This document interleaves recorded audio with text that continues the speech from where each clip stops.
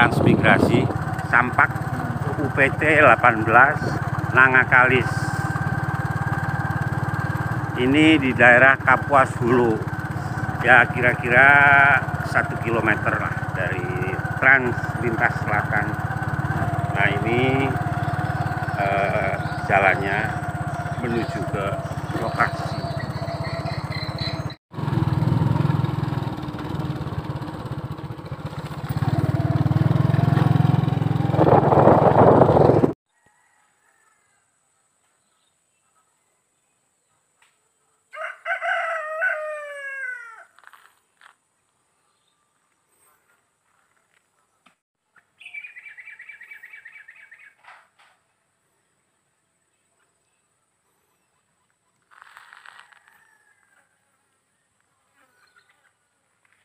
Assalamualaikum. Jumpa lagi dengan Mas Hijat Channel Channel rakyat biasa Bukan artis, bukan selebritis. Saya akan mengajak teman-teman semua Jalan-jalan ke lokasi transmigrasi Di Kapuas Hulu Tepatnya di di apa mas? Nah, Kalis, Nangakalis Terus? Trankalis Tran Kalis. Transkalis. Pokoknya jauh dari Pulau Jawa dan oh ya teman-teman yang belum subscribe subscribe ya saya mengajak teman-teman semua jalan-jalan di lokasi perumahan transmigrasi di Nangakalis UPT 18 Transkalis Kapuas Hulu Kalimantan Barat. Kalimantan Barat.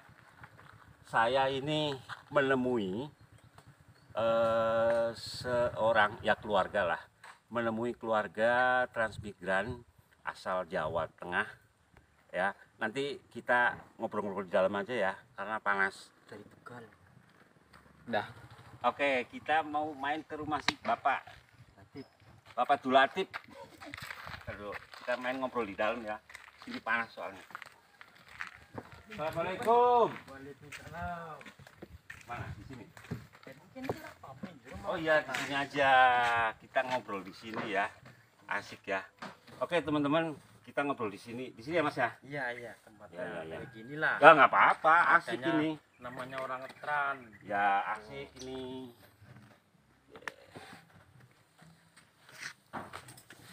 Ini saya bersama Mas Dulatip. Mas Dulatip ini transmigran asal dari mana mas? Asal saya dari Jawa Tengah, Ya, kabupatennya Tegal. ya. Oh, Mas dari Kabupaten Tegal ya, bukan Iya. Brebes ya? Bukan. Ya, kalau dari Tegal berapa kilo? Kalau dari ya sekitar 5 kilonan lah. Dari Tegal? Iya. Bohong amat. Saya kan orang Tegal, Mas. Oke, Mas Dulatip. Boleh nanya ya? Iya, Pak, silahkan. Boleh sambil ngerokok nggak? Boleh loh. Sorry teman-teman. Ini ahli hisap, jadi harus menghisap terus. Rokoknya ini nih.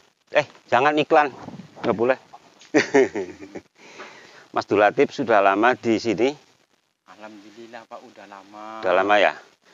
Mas Dulatip ke sini transmigrasi tahun berapa? Tahun 2010. Ya. Awalnya memang di daerah sini, langsung. langsung dari dari Jawa didatangkan ke sini. Oh gitu ya. Ada berapa rombongan? Kalau dari Tegal itu ada 10 kakak. Ya alhamdulillah sekarang masih utuh lah 10 ya. 10. Beranak pinak dong. Ah, iyalah. Nambah. Ya, menambah. Pasti ya. Pasti.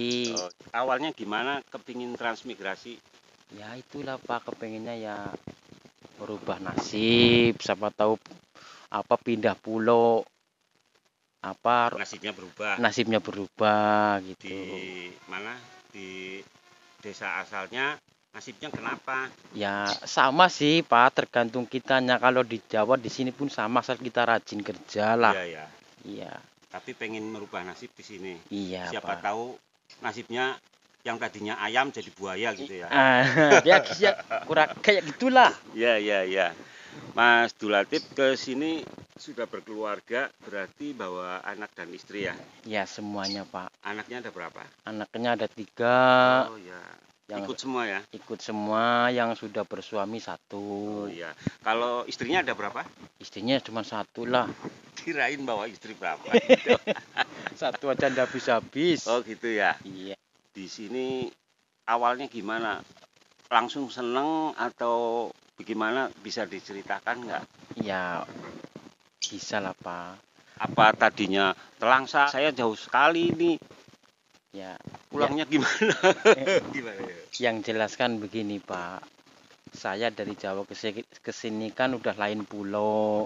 Ndak ada saudara ndak ada apa di sini ya. Jadi awal awalnya ya sedih lah ibaratnya pak. Awalnya ya? Iya. berapa hari 10 hari atau sebulan dua bulan. ya sekitar tiga bulanan lah. Tiga bulan merasa aduh. Iya kepingin pulang lagi ke Jawa tapi anak-anak juga? iyalah. Waktu itu anak masih umur berapa? Ya yang tua itu baru kelas 6 lah. Ya. Udah anaknya banyak kan pak. Jadi ya ya kayak gitulah. Iya. Sedangkan di sini belum tahu apa usaha apa yang mau dikerja gitu pak. Emang nggak ada arahan nanti eh, eh, transmigran itu bakal kerja ini itu bertani atau jualan dagang? Ya program dari pemerintah kan suruh bertani berkebun berhubung tanahnya di sini tanah gambut ditanam padi pun tidak mau ya terpaksa kerja lah nyari rezeki untuk makan anak istri pak di rumah. Begitu cari rezeki maksudnya kerja di luar Ah, ah, keluar di kok. luar eh, tani. Iya. Se- buruh-buruh. ah, buruh lah ibarat cara kasarnya jual buruh. jasa tenaga ya. Iya pak. Eh, iya iya iya. Anak istri dibawa ke sini semua keluarga ya. Semua. Lah yang serombongan Mas Dulatif orang-orang itu bawa juga keluarga. Sama semua pak bawa anak keluarga anak ya. semua dari Jawa. Ibaratnya pindah lah. Hmm, udah beranak pinak lagi iya iya lah udah pada cucu. Oh cucu ya? Udah ada cucu. Mas Dulatif sendiri? Ya sudah punya satu. Oh sudah punya ya? Iya Ya, ya, alhamdulillah ya. Ya Allah Ah. beranak pinak di lokasi transmigrasi yang jauh sekali Bung Liwang Liwung ya? Iya alas. Ini rumah ininya Mas ya nah ini rumah yang dikasih sama pemerintah. Oh, ini rumah istilahnya rumah lugu ya kalau Jawa ya? Iya rumah lugu. Rumah apa ya? Ya rumah yang memang dikasih kayak gini ya bisa Iya. lihat mas ya? Iya bisa silakan pak. Ini ya. Ya sini aja nggak usah masuk.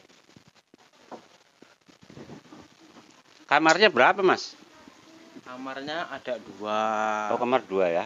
Jadi kan ini kan tipenya 4 kali eh 66 eh, apanya mas? Ukuran? Tipe- eh, eh, ukuran rumahnya. 66 ya? Tipenya 66 iya 66 semua itu dapat tipe sama? Sama semua. Nggak ada yang lebih besar? Nggak ada. Kalau kepengen itu ya ditambah-tambah sedikit teras. itu biaya sendiri? Biaya sendiri. Oh yang di semen itu biaya sendiri ya? Iya. Kalau itu udah- udah lain lagi itu hmm, ya. itu ibaratnya itu bikinan sendiri lah. Oh yang ini dirombak sendiri ya? Iya. Ini ya. Ini rumah siapa alhamdulillah rumah saya. Oh dua? Alhamdulillah pertama pak. dikasih ini iya. yang kedua bikin. Bikin sendiri Ini tapi- bikin? iya Ya tapi kan enggak pakai papan pakai Iya. semen. Ya kayak orang Jawa lah Iya. ningin sor ora. Iya, berangsur ya ini ya Iya. bikinnya ya. Ndak panggung iya enak yang panggung apa yang? Ya sebenarnya sih ndak endalan. Enggak kalau panggung itu panas. Hmm, iya iya. Panas ya? Mm-mm. apa mas? Eh, saya mau tanya itu pertaniannya di sini. Eh, ya. Iya. Kalau pertaniannya di sini, Pak, kalau untuk padi apa segala itu kurang cocok, Pak. oh kurang cocok ya? Jadi Iya. taninya apa ya?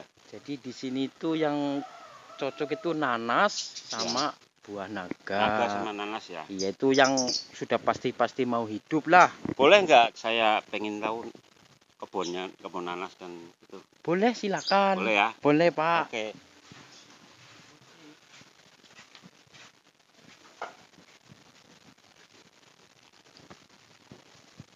ini ya kebunnya ya Iya, Pak. sampai sana berapa hektar mas Ini kan berapa hektar mas bukan hektar. apa Ini kan satu rumah itu ukurannya itu 25 kali 100. Emang semuanya jatahnya itu 2 hektar. Satu rumah ya. Iya, Satu kakak. Satu kakak 2 hektar. Kok sampean bisa Oh, ini bikin sendiri ya. Iya, iya, iya. Jadi ini lahan pekarangan lah ibaratnya. Ya, pekarangannya dua 100, eh, 100 kali 25. pekarangannya. Iya. Oh, ini ke sana terus. Oh, kayak gini memang eh, apa? Ciri khas tanahnya memang begini ya. Iya, Pak. Jadi tanahnya itu ini saya injak empuk. Karena apa, Mas? Ya karena mungkin dulu-dulunya itu rawa, Pak. Oh. Segala daun-daunan apa kayu pada ini tuh. empuk. Iya. Tuh kan. empuk. lemah Ini gitu. tebal ya. tebal. Tingkat keempukan ini tebal ya. Terus zat asamnya masih kuat. Oh, gitu ya. Jadi makanya ditanam padi tidak mau. Jadi ini teman-teman, ini pohon naga, buah naga. Ini nggak ada buahnya. Ini buah naga ini apa mas? Sama. Sama. Kok dikasih pagar Oh, itu untuk nyimpan apa-apa lah. supaya nggak ada binatang. Jadi sini, sini mas. Ini kan letakkan Dian, Pak. Nggak nggak apa-apa, nggak apa-apa, nggak usah ke sana. Jadi ini ada tempat juga yang sini mas. Saya mau mau tahu ini tempat apa kok dipagerin mas? Oh, ini kolam. Kolam. Bagus banget nih. Aduh. Nah, ini kolam, teman-teman. Ini kolam. Kolamnya dikasih ikan apa, Mas? Ini dikasih ikan patin. Banyak. Ya lumayan Kalau sih. panen buat sendiri atau dijual? Ya untuk sendiri ya bisa dijual ya ya kadang lebih dijual lah. Oh, iya iya. iya. Mas sampean sampean. Mas Dulatif di sini kan sudah sudah apa? punya menantu di sini ya. Iya. Oke, eh, kita mungkin nanti kita dikenalin sama menantunya ya. Iya, Pak. Nanti ya. Boleh, boleh.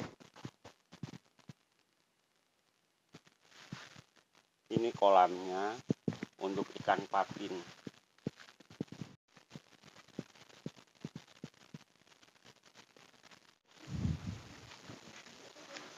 Ah, asik juga di sini ya. Ini buah naganya mana? Oh, saya, saya Pengen saya itu saya buah naga saya. Pengen buah naga yang tadi tapi tadi nggak ini ya. Iya. Tapi punya stok. Ya, alhamdulillah ada lah untuk satu perut. Ini saya saya berapa sini, saya? Oh ya. Oh, ini buah naganya ya. Iya. Oh. Ini siapa ini? Ini menantu saya. Oh, transmigran juga. Iya. Mas Asep dari asalnya dari Dari Serang, Banten. Wih, jauh. Iya. Jauh juga ya ke sini ya. Mas Asep eh, sudah berapa lama di sini? Udah 11 tahun. 11 tahun ya. Kalau Mas Dulatif Ya sama lah. sama ya. Ini udah 11 tahun ya. Rumahnya udah nambah lagi ya. Alhamdulillah. Tuh, saya tadi kan katanya ini rumahnya nambah lagi, dengar-dengar begitu. Oh, ini buah naganya ya. Kecil-kecil ya. Iya, itu soalnya itu Kan ada yang lebih besar. ada. Cuman Ini buah naganya, teman-teman. purit lah dari Jawa. Puret, puret. Puret. Hmm, buah naga. Jadi Mas Dulatif sama Mas Asep ini bertaninya buah naga. Buah naga sama Tapi- nanas. Oh, itu pertaniannya ya. Iya. Kalau tani gitu hasilnya untuk sendiri atau gimana? Atau di Ya dijual lah. Ya, maksudnya hasilnya untuk sendiri ya. Iya, untuk sendiri. Oh, gitu. Senang sekali bisa ketemu dengan Pak Dulatif sama menantunya nih Mas Asep di di apa lokasi transmigrasi di daerah Kalis, Kalimantan Barat. Oh, jadi ini buah naganya nih, teman-teman. Buah naganya. Ini lebih kecil daripada buah naga yang ada di Jawa Timur yang saya pernah temui ya. Ya, Iya, ya agak kecil ya. iya. Apa kalau dipupuk bisa besar juga? Bisa sih, Pak. Oh, bisa ya. Bisa, bisa. Ini kalau dari sini harganya berapa, Mas? Sekilo. Sekilo ini tuh di sini tuh 30. Oh, lebih tiga- mahal dong Ya, daripada di Jawa. yang lain lah di sini kan apa jarang orang nanam. Oh, jarang ya. Ini Iya. baru ya. Baru, Pak. Baru. Dulu-dulu nggak ada tanaman ini. Nggak ada. Semenjak ada orang Jawa masuk transmigrasi sini lah, baru ada orang Ish, ish, ish. itu nanam Hmm. buah naga. Oh, semenjak itu ya. Hmm.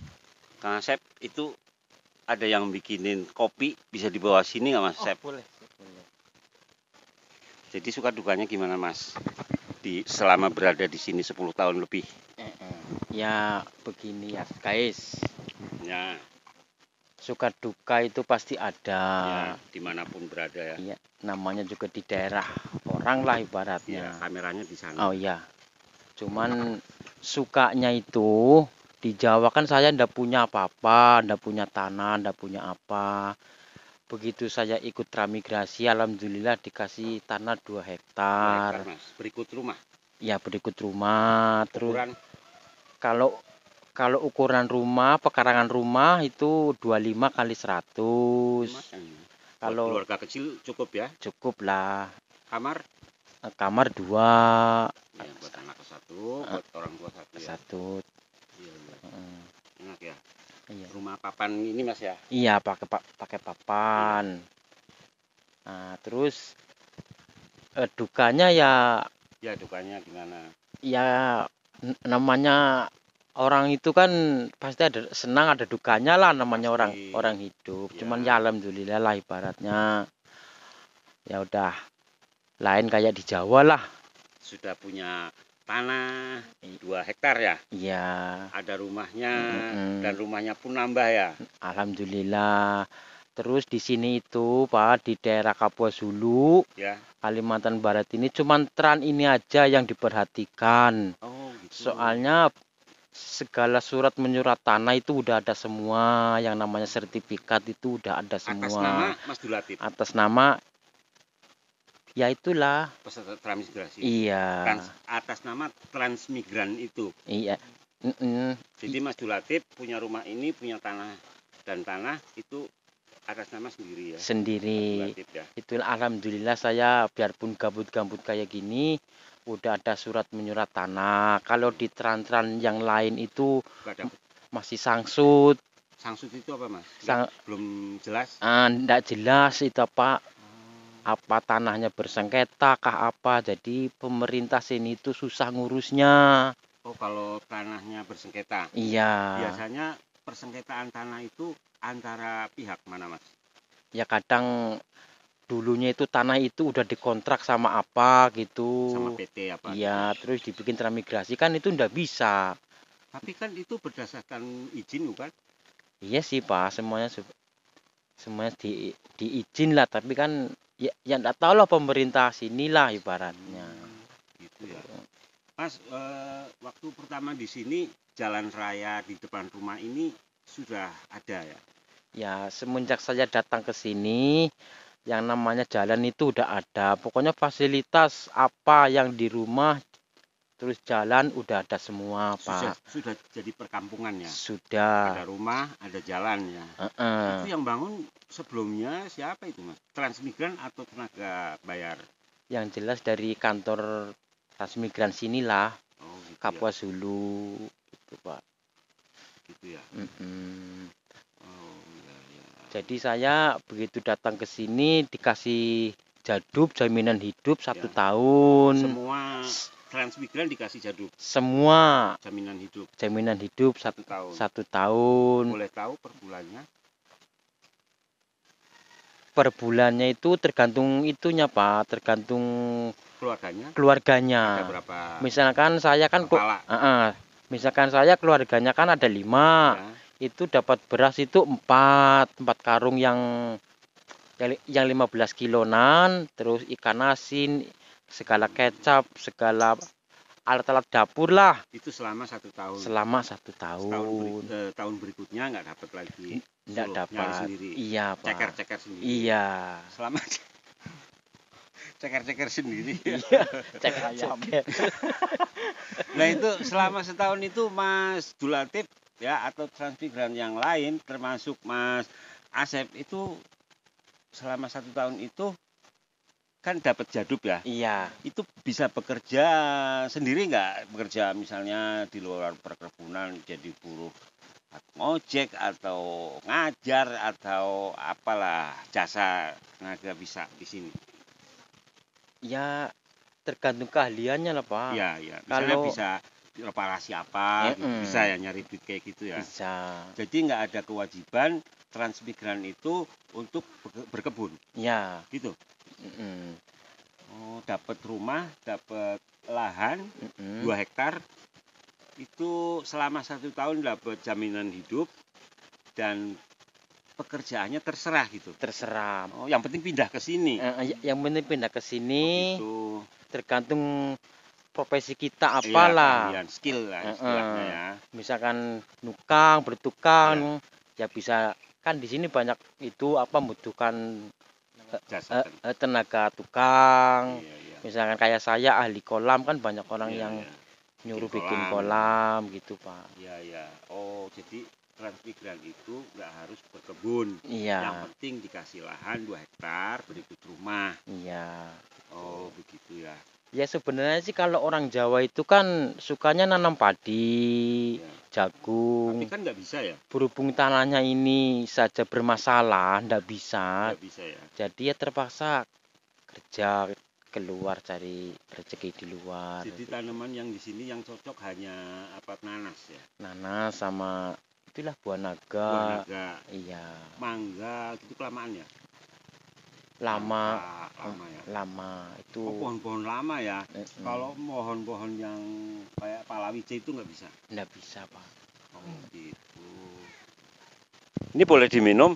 Silakan Apa- Pak, diminum. Cuman hiasan belaka. Ya saya kan udah ikhlas suruh diminum. Ah, iya, iya, makasih Mas. Apa yang ada di sini Iya, iya. diminum, Iya, iya. dimakan. Ini gitu. minumannya kopi susu. Iya, ini ciri khas Kalimantan ini. Minum dulu, teman-teman. Minum dulu. Ya. Eh, tos, tos, tos, tos. Tos. Waduh, mantap. Bismillahirrahmanirrahim. Ah, mantap. Dah, lalu rek.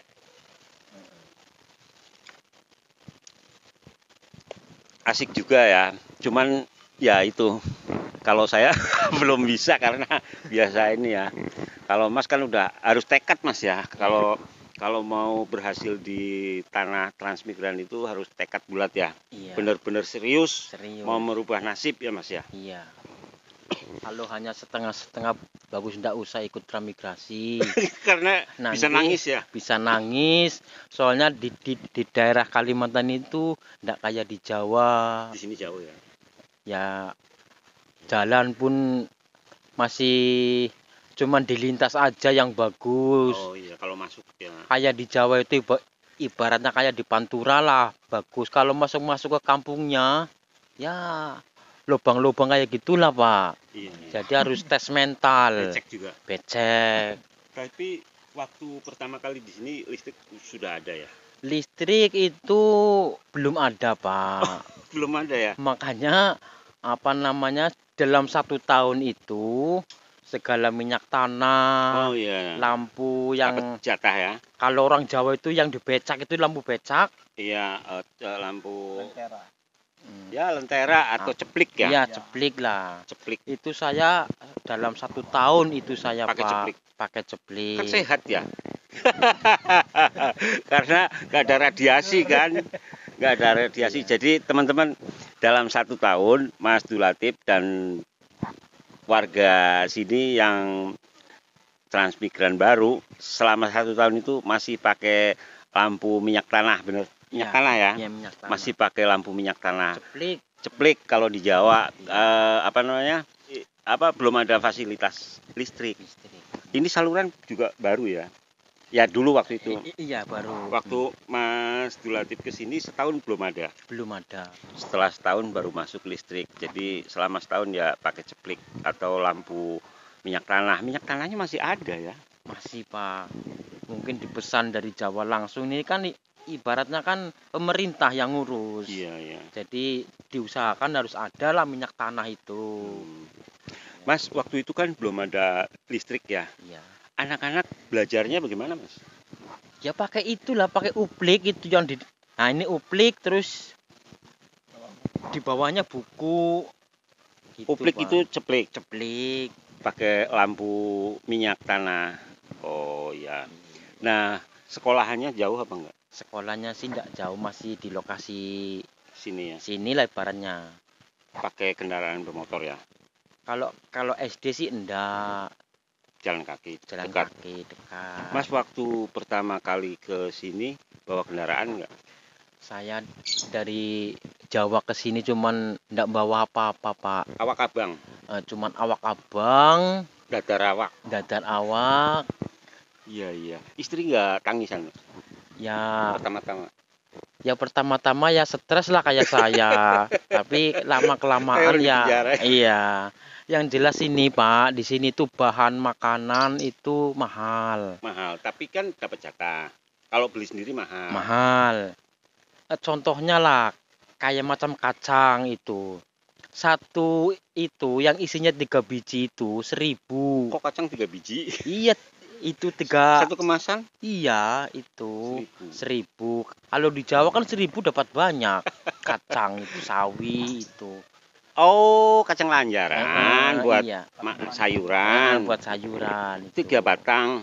itu seribu, Seribu di sini. Tapi memang di sini nggak ada tanamannya sih ya jauh Iya, ya. heeh, Kiriman ya. iya Jadi mahal ya. jadi mahal terus Iya. apa namanya itu pokoknya bahan sayuran-sayuran itu makanya para ibu-ibu itu begitu datang ke sini tuh kayak orang stres Stres ya. megang ini mahal megang itu mahal Kalau stres kan bisa marahin suami ya. Sampean ki. ya. iya Bisa ya. iya Tapi kan awal-awal ya, wajar ya. iya tapi Sekarang kan udah seneng ya.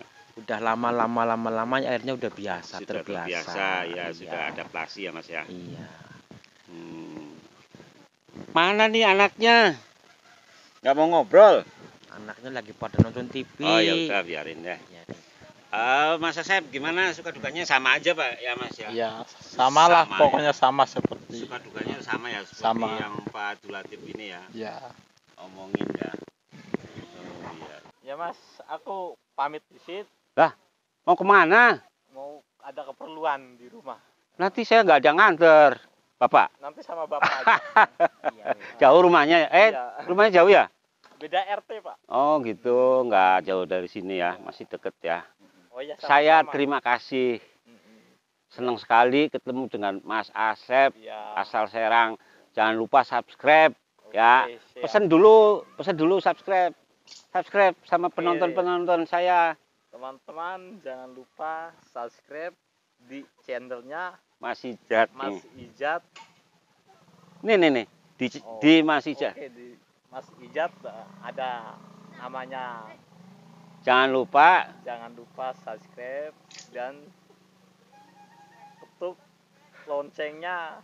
Sip pokoknya. mantap. Sudah Mas ya. Oke. Oke, Hati-hati Mas. sami-sami Hati-hati.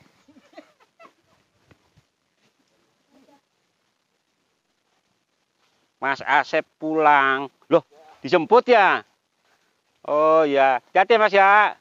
Makasih Mas Asep. Yuk. Mas Dulatif, terima kasih sudah menerima kedatangan saya di sini dan senang sekali bisa ketemu Mas Dulatif, saudara sekampung yang jauh sekali Gumliwang Liwung eh, bisa ketemu di Kalimantan Barat paling utara di Putus Sibau Putus Sibau tapi ini lokasinya di di apa mas namanya mas? Kapuas Hulu di perumahan transmigrannya. Tahun berapa mas? Tahun 2010 ini Mas Dulatif ke apa ikut transmigrasi. Sampai sekarang. Sudah pernah pulang berapa lam- kali? Sudah satu kali. Satu kali ya? Sama keluarga apa sendiri? Sama keluarga. Alhamdulillah. Sama anak-anak juga? Iya. Mas Dulatif barangkali mau kirim salam buat warga desa di mana Pak Dulatif berasal iya dari Pager Barang ya Iya. silakan sampaikan salamnya Assalamualaikum saudara-saudara saya di kampung, di Jawa, terutama untuk keluarga saya, mama saya, mertua saya, mudah-mudahan dikasih kesehatan selalu. Amin. Salam juga untuk Pak Kadus, Pak Nursid, juga Pak Lurahnya. Kalau dulu saya ke sini sih Pak Solihin, Pak Solehin. sekarang mungkin Pak Pak Jen apa Pak Su- Pak Sutrisno guru saya dulu lah. Woi, guru zaman SD SMP. Dulu zaman SD Pak Trisutrisno kalau tidak salah. Eh, mudah-mudahan masih sugeng ya. Mudah-mudahan Pak. Eh, Amin. Waalaikumsalam warahmatullahi wabarakatuh. Terima kasih Mas Dulatif. Salam dari Mas Dulatif nih, dari Kapuas Hulu, Kalimantan Barat. Mas Dulatif, kalau ada warga yang kangen gimana Mas Dulatif? Ya, Silahkan hubungi ke mana nih? Komen ke ini ya, komen. Silahkan komen. Yang kangen silahkan komen, nanti saya hubungkan dengan Mas Dulatif. Ada nomor teleponnya mas saya. Kalau warga mana? Pager Barang ya. ya Pak Gerbara. Kalau warga Pager Barang yang kebetulan tetangga, terutama terutama desa Serengseng. Ya. Serengseng satu. Ya. Terus Duku Glagah, Grumjang. Silahkan kalau mau, oh ya, silahkan ini subscribe.